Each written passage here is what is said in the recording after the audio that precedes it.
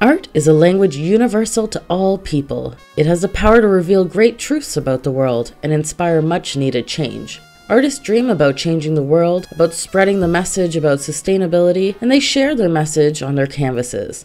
However, not everyone is aware of the message. Through the link below, you can learn about the beautiful sculptures, beads, and mosaics of artists like Frances Mutua and Lisa B.